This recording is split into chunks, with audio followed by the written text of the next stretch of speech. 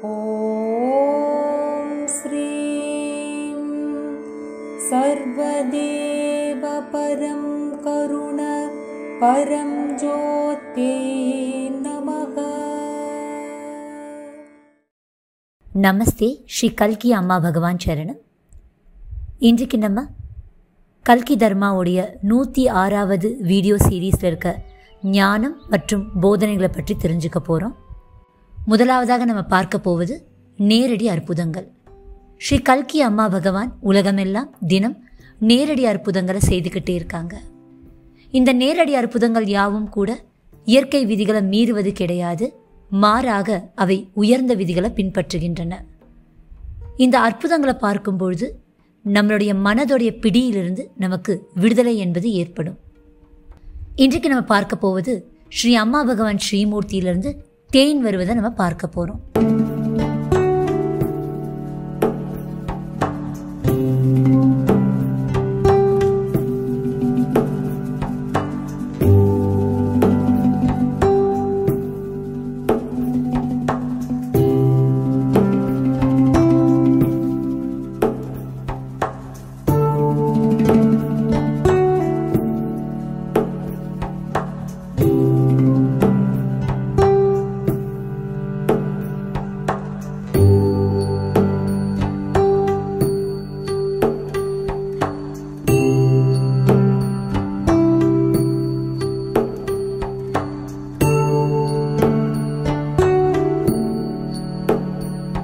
ஜெய் போல அற்புத பிரதாத்த ஸ்ரீ கல்கி கி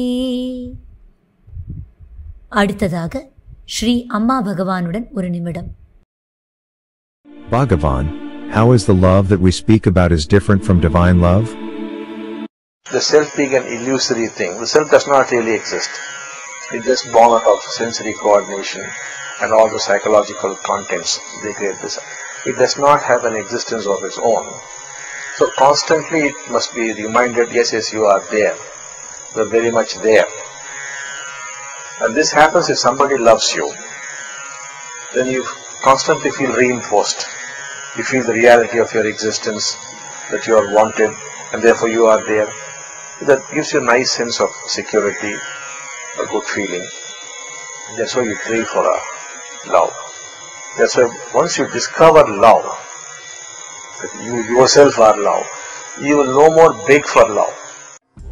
பகவான் கிட்ட கேட்குறாங்க நம்ம பேசுகிற அன்புக்கும் தெய்வீக அன்பு எப்படி வித்தியாசப்பட்டது? நமக்குள்ள இருக்கிற நான் என்னும் உணர்வு ஒரு மாயை. அந்த நான் என்னும் உணர்வு உண்மையாவே இல்லை அங்க. அது புலன்களுடைய ஒருங்கிணைப்பினால பிறக்குது. அதிலிருந்து எல்லா விதமான மனரீதியான விஷயங்களும் பிறக்குது.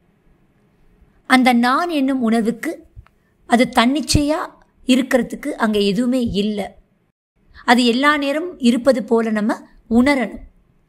அதற்காக நம்மளை யாராவது நேசிக்கணும்.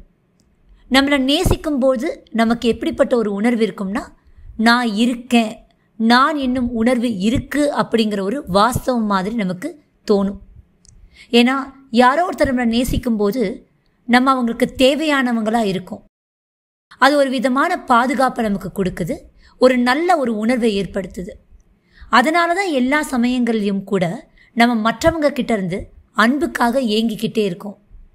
எப்பொழுது நம்ம நம்ம மேலே அன்பை கண்டுபிடிக்கிறோமோ அப்போது அன்புக்காக நம்ம யாருக்கிட்டேயும் ஏங்கவும் மாட்டோம் பிச்சை கேட்கவும் மாட்டோம்.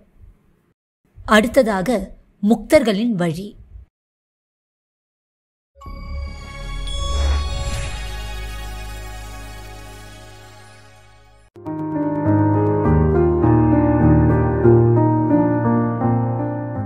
The awakened one is detached.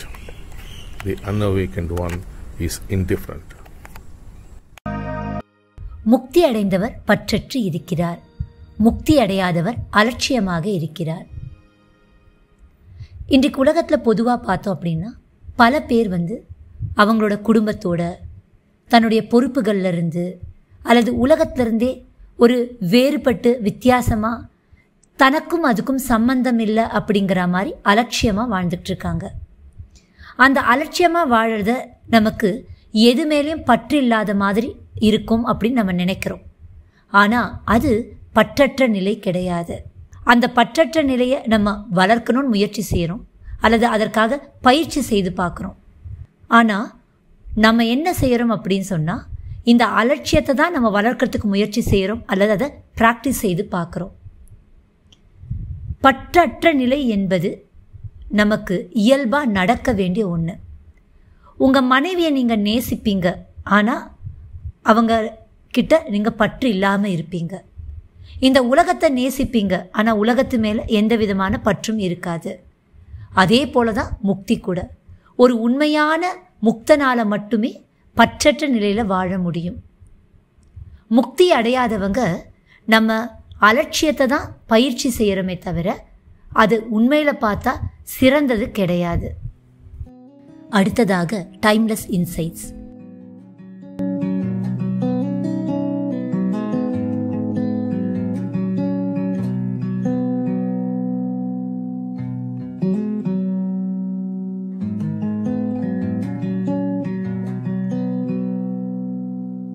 You are your past, and past colors your present. Sri Bhagavan. நீங்கள் உங்கள் கடந்த காலம் உங்கள் கடந்த காலம் நிகழ்காலத்தை பிரபாவிக்கிறது. நம்மளோட வாழ்க்கையில் இன்றைக்கி நடக்கிறது எல்லாமே நீங்கள் பார்த்தீங்கன்னா இந்த கடந்த காலம்தான். முக்தி அடைந்தவங்க நிகழ்காலத்தில் வாழ்வாங்க. முக்தி அடையாதவங்க கடந்த காலத்தில் இருப்போம். நிகழ்காலத்தில் இருக்கோம் அப்படின்னு சொன்னால் அங்கே நபர் என்பவங்க இல்லை. அந்த நான் என்னும் உணர்வு இல்லை. நம்ம கடந்த காலத்தில் வாழ்ந்துட்டு இருக்கும்பொழுது அங்கே ஒரு நபர் என்பவங்க இருக்காங்க. அதனால்தான் நான் இஸ் ஈக்குவல் டு இந்த கடந்த காலம்.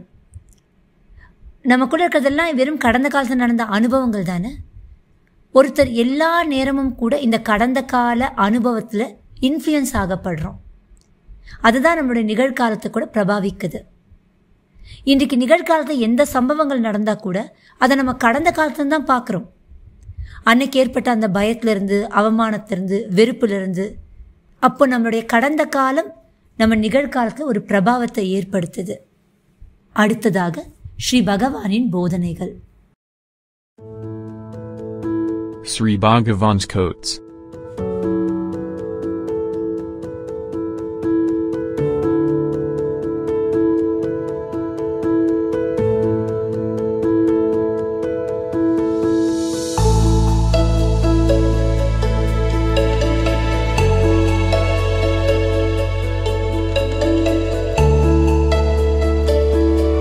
best qualified parents are those who have discovered love for themselves. If you are persistently passionate, the universe inspires to give you what you seek. Sri Bhagavan. தங்கள் மீது அன்பு கண்டுபிடித்த பெற்றோர்களே சிறந்த தகுதி பெற்ற பெற்றோர்கள் குழந்தைகளை வளர்ப்பது என்பது மிகவும் கடினமான ஒரு கலை அந்த கலைக்கு நமக்கு மனது இருந்தால் மட்டும் போதாது இதயம் என்பது வேணும். அதனால தான் ஸ்ரீ பகவான் சொல்கிறாங்க உண்மையில் நீங்கள் தகுதி பெறலை அப்படின்னு சொன்னால் பெற்றோர் ஆகாதீங்க. நீங்கள் பெற்றோர்களாக இல்லாமல் இருக்கிறதே இந்த சமுதாயத்துக்கு ஒரு பெரிய சிறந்த பங்களிப்பாக இருக்கும். ஸோ ஒரு குவாலிஃபிகேஷன் ஒரு தகுதி என்ன அப்படின்னு சொன்னால் உங்கள் மேலே உங்களுக்கு அன்பு கண்டுபிடிச்சிருக்கணும்.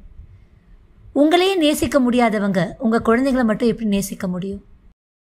உங்களை நீங்கள் நேசிக்கும் பொழுது உங்கள் குழந்தைகளை நேசிக்கவும் முடியும். அவங்க எப்படி இருக்காங்களோ அப்படி ஏற்றுக்கொள்ளவும் முடியும். ஒரு பெற்றோர் தன்னைத்தானே வெறுக்கும் பொழுது குழந்தைகளை நேசிக்க முடியாது.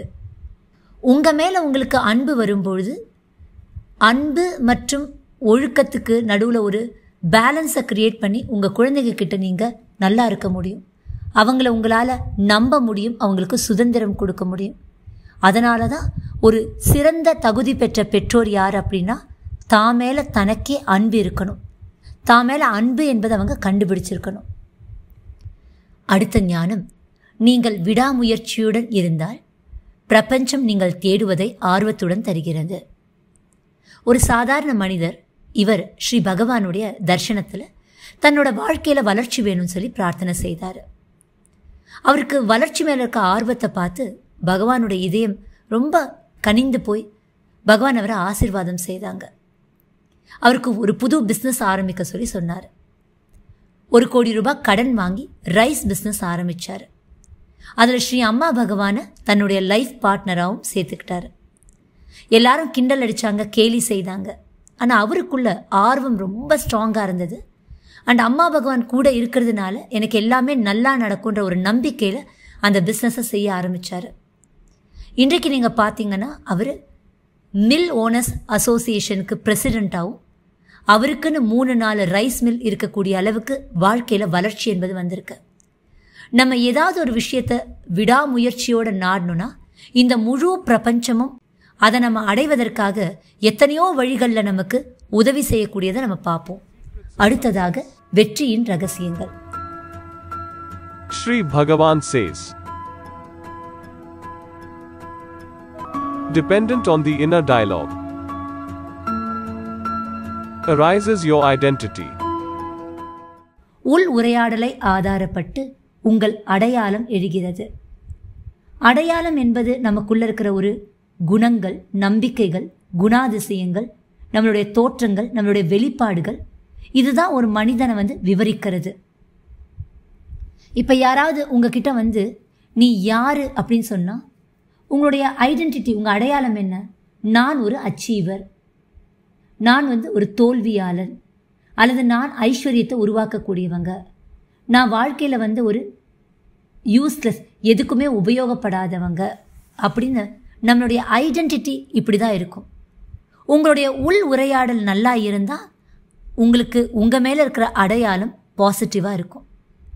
உங்களுடைய உள் உரையாடல் நெகட்டிவாக இருந்தால் உங்கள் மேலே உங்களுக்கு இருக்கிற அடையாளம் என்பது எதிர்மறையாக இருக்கும்.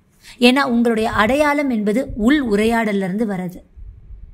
உதாரணத்துக்கு யாராவது உள் உரையாடலில் நான் எல்லாத்தையும் சாதிப்பேன் அப்படி இருந்தால் எதுவுமே எனக்கு அசாத்தியமானது கிடையாது அப்படின்னு சொன்னால் உங்கள் அடையாளம் சமுதாயத்தில் எப்படி இருக்கும்? நீங்கள் ஒரு வெற்றியாளராக இருப்பீங்க. ஒரு வெற்றி அடைந்த மனிதராக எல்லார் முன்னாடியும் திகழ்வீங்க நீங்கள் ஒருவேளை உங்களுடைய உள் உரையாடல் நான் எது தொட்டாலும் அது தோல்வியாகும் அப்படின்னு சொன்னால் உங்கள் மேலே உங்களுக்கு இருக்கிற அடையாளம் எப்படி இருக்கும் அப்படின்னு சொன்னால் நான் ஒரு தோல்வியாளன். அதை தான் எல்லாரும் கூட உங்கள் மேலே பார்க்க ஆரம்பிப்பாங்க. அதனால்தான் உள் உரையாடலை ஆதாரப்பட்டு உங்கள் அடையாளம் என்பது எழுகிறது. அடுத்ததாக அற்புதங்கள். ஸ்ரீ கல்கி அம்மா பகவான் எத்தனையோ பக்தர்களோட வாழ்க்கையில் எத்தனையோ அற்புதங்களை செய்திருக்காங்க. அற்புதங்களை நம்ம பார்க்கும் பொழுது படிக்கும் பொழுது பகிரும் பொழுது எழுதும் போது நம்மளோட வாழ்க்கையிலும் அற்புதங்கள் அதிகரிக்கும். இப்பொழுது அற்புதத்தை கேட்கலாம். நமஸ்தே ஸ்ரீ கல்கி சரணம். ஸ்ரீ கல்கியின் அற்புதம். என் பெயர் பாண்ட பத்மா நிஜாமாபாத்தை சேர்ந்தவள். ஜூன் இருபத்தி ஏழு இரண்டாயிரத்தி இருபத்தி ஒன்று அன்று எனது குடும்பத்துடன் சஹஸ்ரநாம ஹோமத்தில் பங்கேற்றோம். கடந்த ஆண்டு சஹஸ்ரநாம ஹோமத்தில் எங்கள் மகள் அவர்கள் வாங்கிய மனைப்பதிவு செய்ய முடியாமல் சிரமப்பட்டாள். மனை நல்லபடியாக பதிவு செய்யப்பட வேண்டும். அவர்களின் மகன் கல்வியில் அக்கறை காட்ட வேண்டும். எங்கள் சிறிய மகள் ஆரோக்கியமாக இருக்க வேண்டும் என்று நாங்கள் பிரார்த்தனை செய்தோம். சஹஸ்ரநாம ஹோமத்தில் முழுமனதுடன் எங்கள் பிரார்த்தனைகள் நிறைவேற வேண்டும் என்ற சங்கல்பத்துடன் பங்கேற்றோம். எங்களது மூன்று பிரார்த்தனைகளும் ஸ்ரீ கல்கியின் அருளால் அற்புதமாக நிறைவேறியது. இந்த ஆண்டு சகசிரநாம ஹோமத்தில் ஸ்ரீ கல்கிக்கு நன்றி கூற குடும்பத்துடன் பங்கேற்கிறோம். இந்த அனுகிரகத்தை எங்கள் மீது பொழிந்த ஸ்ரீ கல்கிக்கு எனது எல்லையற்ற நன்றிகள். ஜெய போல ஹோமா அற்புத பிரதாத்த ஸ்ரீ பரம்ஜோதி கல்கி கி ஜெய். ஜெய் போல ஸ்ரீ அம்மா பகவானுக்கு.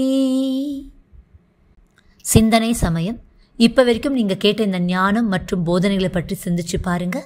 அற்புதங்களையும் சிந்திச்சு பாருங்க.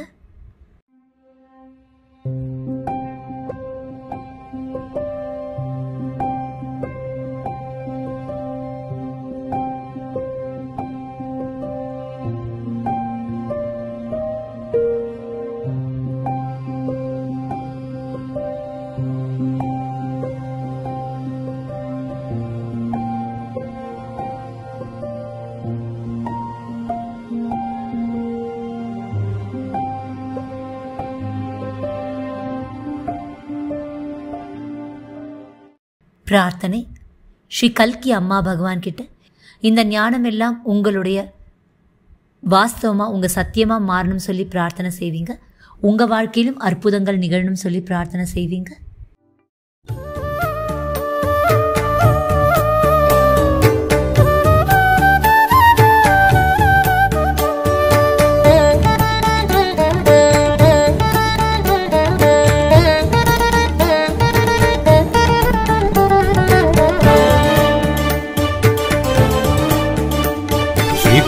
ശ്രീകോവിലിൻ തിരുനട തുറന്നു. കോടി ശുഭാവരം ചൊരിഞ്ഞു. ശ്രീകോവിലിൻ തിരുനട തുറന്നു. കോടി ശുഭാവരം ചൊരിഞ്ഞു ചൊരിഞ്ഞു. ഇറങ്ങി വരും നിന്നെ കാത്തിരുന്നു ഞാൻ.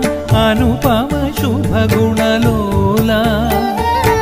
ഇറങ്ങി വരും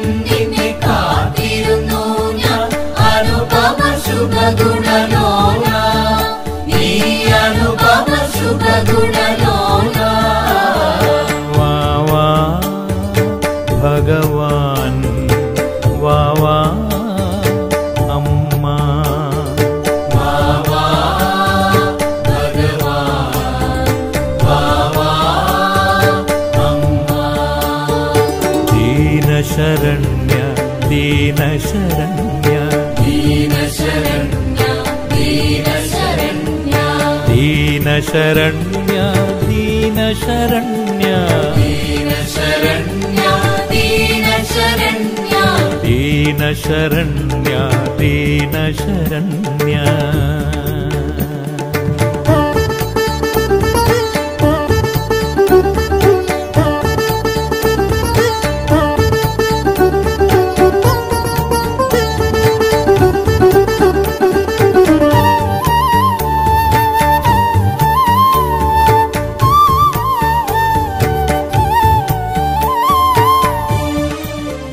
श्री अम्मा भगवान अनुगृहीतोऽस्मि श्री अम्मा भगवान अनुगृहीतोऽस्मि श्री अम्मा भगवान अनुगृहीतोऽस्मि